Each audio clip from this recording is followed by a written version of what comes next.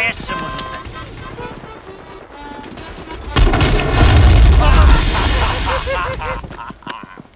Oni i tak dostaną podwyżkę, bo każdy, kto założy konto z podwyżką w banku BGŻ, dostanie do 600 zł rocznie. Bank BGŻ. Pieniądze są dla ludzi.